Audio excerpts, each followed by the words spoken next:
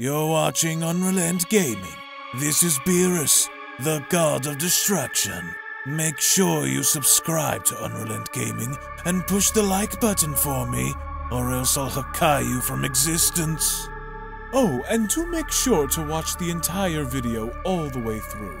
And follow UnrealEnt Gaming on both Instagram and Twitter. Whis, enough. On to the video. Ladies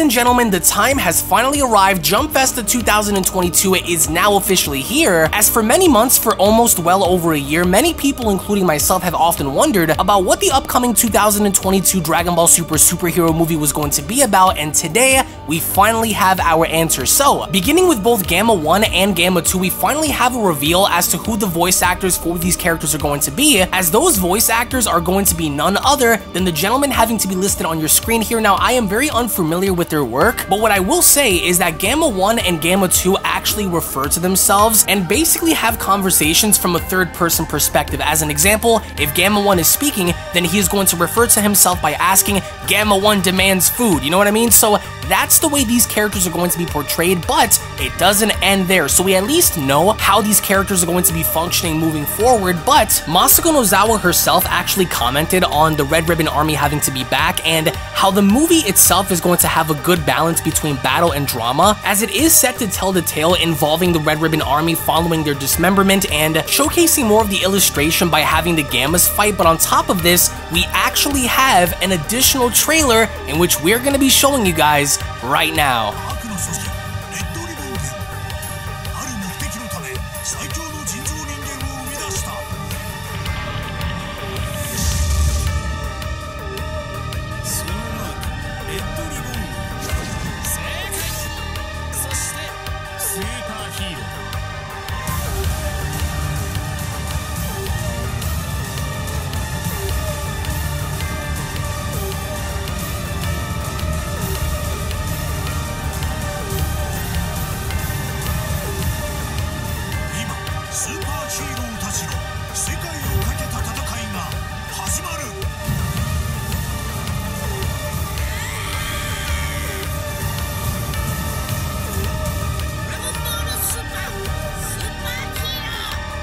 So if there's anybody who's going to be standing out in this movie more so than anybody else, it's going to be Gohan. So not only are Goku and Vegeta going to be doing their own thing, presumably on Beerus' planet and having to train Broly, but elsewhere, Gohan's going to be having even more shine by having to fight these individuals by himself, and it's not really to suggest that Goku and Vegeta aren't going to be involved because they are, but the primary focus of this movie really isn't going to be about Broly, it isn't going to be about Vegeta, it isn't mainly going to be about Goku either, it's going to be about the overall premise of introducing the superhero aspect by having Gohan shine more than anybody else. And if you've been wanting to see Gohan shine more so than anybody in Dragon Ball Super, then this is going to be the movie for you because Gohan's going to have a bigger role, I would dare say, in having a prominent role to fight Gamma 1 and 2 more so than anybody else. And if that's something that kind of tickles your fancy, then again, this is going to be the movie for you. Now, in case some of you guys are probably wondering when this movie is going to come out, well, we finally have a date, April 22nd, 2022.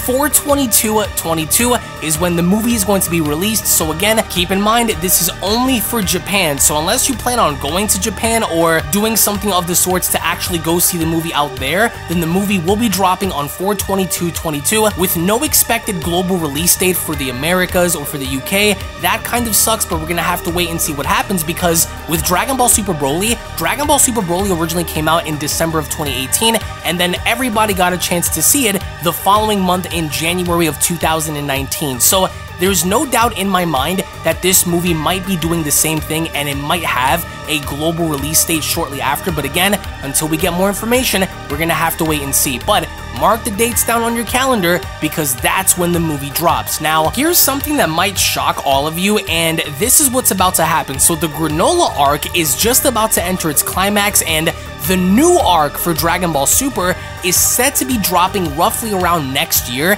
We don't know when, but in 2022, presumably towards probably the end, is when we're going to be seeing the debut of the new arc following the events of Granolah. So that's going to be a big thing because in order for us to move forward, we need to kind of see where this goes. And make no mistake about it, from what they're saying, it looks as though the Granolah arc is going to be coming to an end in 2022. So make sure you guys also keep your eyes and ears peeled out for that one. But in the end, I want to go on ahead and get your thoughts in the comment section below about Dragon Ball Super Superhero. And if you guys are excited, if you guys are kind of disappointed, if you're either reserving judgment until the movie comes out, and more importantly, in terms of the overall narrative involving the Red Ribbon Army, involving Goku, Vegeta, Gohan, who looks spectacular, Pan, I want to go on ahead and get your thoughts on how you think this movie is going to be structured narratively, and if you honestly believe this movie might actually be better than Dragon Ball Super Broly, or if it might be a little subpar to that movie, only considering the fact that we had Shintani work on that movie, and the overall tone of the film was very different by comparison. So again,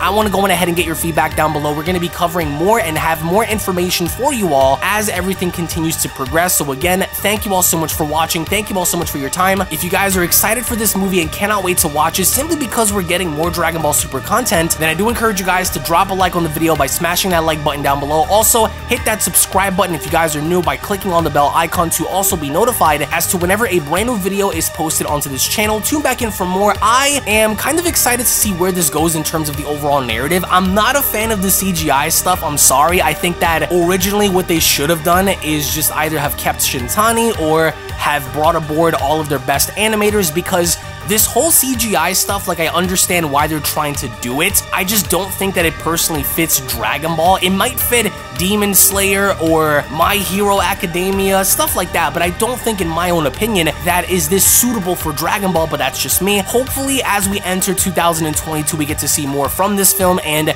they polish up the CGI stuff and they kind of go on to reveal more from the aesthetic point. That kind of gets people to be drawn a bit more in instead of looking at this like one giant cutscene of a game, you know what I mean? But I'm excited. There are so many elements to this movie that I feel like might be really, really good. And to actually see Gohan once again take center stage and having him have the fight of his life thus far, do I think is very satisfying, at least for me. So I want to go ahead and get your thoughts down below. Thank you all so much for watching once again. Tune back in for more, and I'll be seeing each and every single one of you down in the comment section below and in the next video. Take it easy, guys, and have a great day.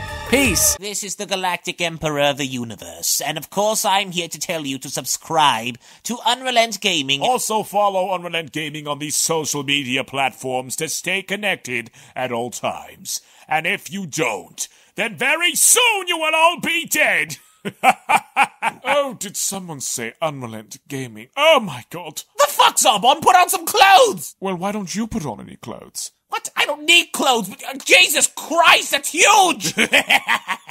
what, Broly? Frieza, Uh-oh. prepare to die!